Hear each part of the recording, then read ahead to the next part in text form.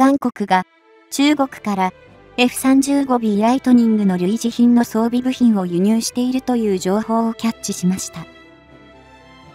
もともと、この戦闘機はアメリカから購入した機体です。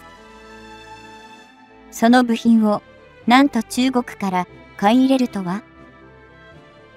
アメリカもびっくりしたでしょうし、呆れ返っているのではないでしょうかね。そんなわけで、今回は最新鋭戦闘機 F35A の整備について見ていきたいと思います。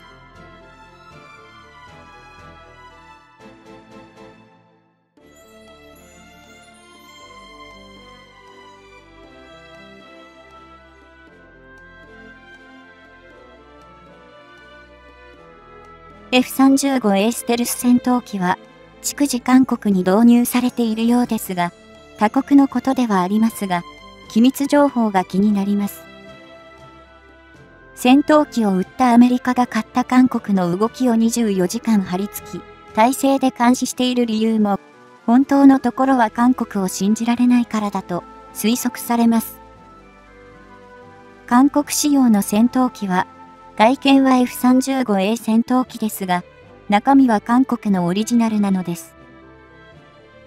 と言っても、この戦闘機はアメリカが韓国に売り込んだものですから、責任を取って監視しなければならないというわけです。アメリカは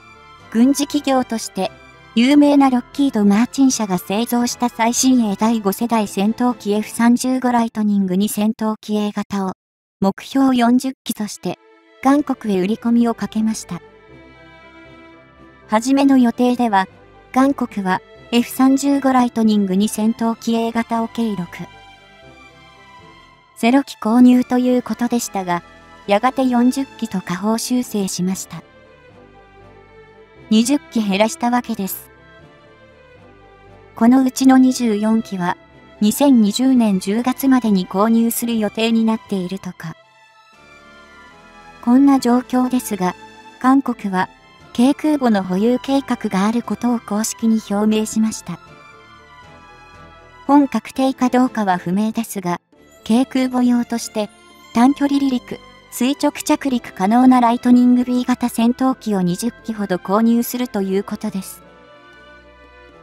さて、日本の現状ですが、F35A 型105機、B 型42機購入が決定していますから、数字だけ見れば、アメリカに次いで多いということになるようです。韓国が B 型購入や軽空母建造の意思を発表した裏には、当然日本を意識したと思われます。一昔前、冬ソナに代表される日本での爆発的な韓流ブームがあり、それに呼応して、アニメなどの日本ブームが韓国にもありました。その後、K-POP ブームもありましたが、どうもギクシャクしているのが日韓関係です。一般の人たち同士では、そんなに敵外心をむき出しにして喧嘩することもないのですが、どうしても国が絡むと悪化してしまうのでしょうね。いつの間にか日本を敵対視するようになった韓国ですが、海上自衛隊の護衛艦出雲、ヤカガの航空母艦化回収決定を不安視し、対抗策を考えた結果が B 型と軽空母購入だと考えます。しかし、ここで世界の動きに目を向けてみましょう。すると、軍事大国と言われるアメリカやイギリスが F35 ライトニング 2B 型戦闘機の調達計画を止めようとする動きを見せているのがわかるでしょう。そうなってしまったら、ライトニングを製造しているロッキード・マーチン社は、収入の一部が減ることになりますね。本国アメリカでさえ、購入しないと言っているのですから。ところが、韓国が購入しようという動きがあるので、ロッキード社の立場で見ると、アメリカ、イギリスで減った分の収入を補填できることになります。ラッキーですよね。簡単に言えば、棚からぼたもち的な心情ではないでしょうか。さて、軽空母開発と同時に、韓国側は設計の前提条件である情報開示を要求しました。しかし、ロッキード社は契約後でなければ見せることはできないと突っぱねたのです。お客の要求を拒絶したということになりますね。韓国の以前の発表では、現在保有している徳島級強襲揚陸艦後継艦として3万トン級大型輸送艦を作るということでしたが、裏話として、隣の軍事大国中国に空母保有を隠すためとも言われていました。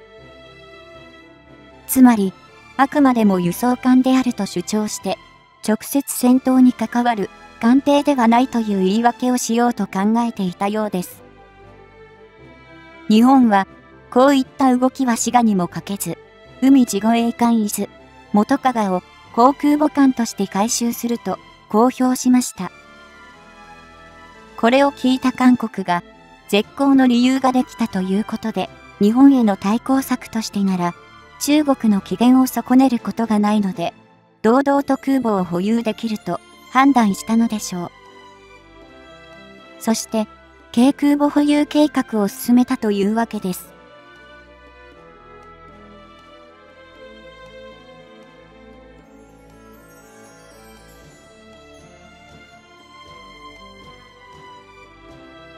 地図を見てすぐわかるように、日本の4州は海に囲まれています。地域特性上から考えても、中国海軍の脅威が迫る南西諸島の防衛戦略には、有限の陸上拠点だけではなく、出雲、ヤカカなどの艦艇によって運用される F35 ライトニングに戦闘機 B 型が必要不可欠となります。一方韓国です。韓国領海は日本の約10%程度、朝鮮領海をプラスして計算してもおよそ12%強ですから、陸上の飛行場から発進する F35A 型の航続距離や行動範囲に10分収まるはずです。なのに、わざわざ大金をかけて B 型を購入しようというのは、お金がもったいないと考えてしまいますが、他の国のことですしね。内政干渉と言われそうですから、日本が口出しする問題ではありませんね。韓国から話がそれますが、イタリアも F35 ライトニングに戦闘機 A 型と B 型2種類の購入を進めているそうです。しかし、この新型コロナウイルス感染拡大の影響で、戦闘機購入計画は一時中断せざるを得ないことになりました。その代わりと言いましょうか、中国の経済援助にイタリアの依存がますます強まっていると思われるのです。ちょっと意外な感じですが、実は、イタリアと中国は関係が深いのです。中国から多くの労働者がイタリアへ移動して仕事に就いています。現在のイタリアは中国からの労働者なしでは経済が成り立たなくなっていると言っても過言ではありません。イタリアでコロナウイルス感染者が爆発的に増えたことがありましたが、すぐ身近にいる中国からの労働者を非難する声があまり聞こえなかったことを不思議に感じた方も多かったのではないでしょうか。歴史的に見ると、絹と共に文化を運んだシルクロードの橋と丹の二国が友好関係なのはいいことなんですけどね。韓国はアメリカから完成品の F35 ライトニングに戦闘機を購入するだけですが、イタリアにはヨーロッパ各国向けに F35 の組み立て、製造、メンテナンス拠点である FACO、ファイナル、アセンブリー、チェックアウトがあります。当然、ここでは F35 を分解したり、分析も行われるわけですから、F35 ライトニングの情報を知り得る場所とも言えましょう。となったら、イタリアのこの FACO から F35 の情報が中国へ漏れてしまうのではないかという不安の声があるのです。前述の通り、イタリアと中国は深い関係がありますからね。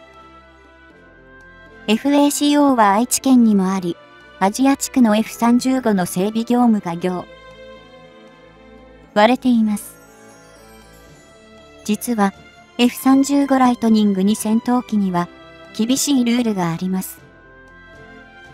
それは、通常の点検整備以外は、必ずファーコで行わなければならないというものです。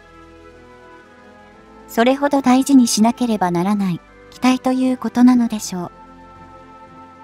韓国は F35 戦闘機を所有していますが、政治的な考えなのか、反日感情なのか、両方なのかわかりませんが、戦闘機を日本に持ち込むことを完全に拒否しています。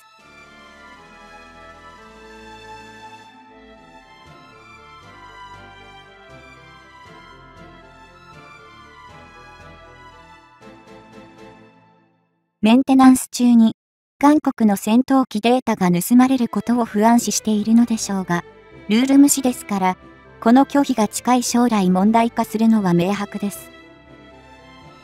ちなみに F35 戦闘機ですが、日本の購入価格は1機あたり約1。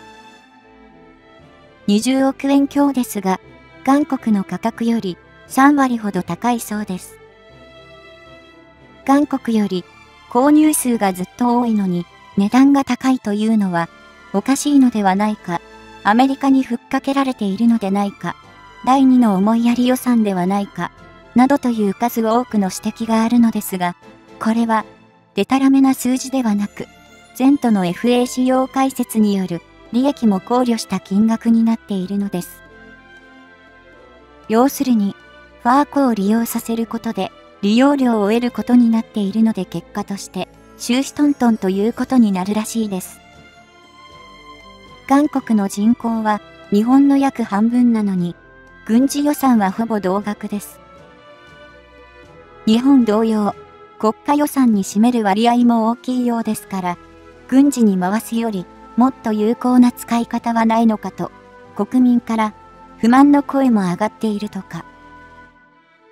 よその国のことばかり、荒探しをしている場合ではないのですが、韓国は他国のことに口を挟まないで、自国のことに集中してほしいものだと思います。